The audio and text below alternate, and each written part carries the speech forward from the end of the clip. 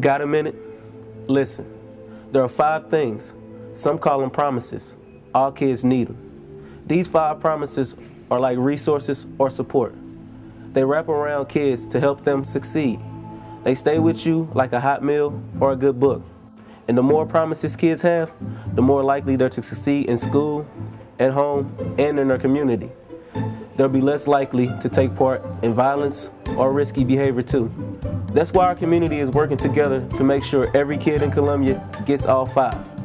Caring adults, safe places, a healthy start, an effective education, and the opportunity to help others. Help give kids all five. Five to grow on. Do it for them. Do it for you. Because what's good for the kids is good for everybody.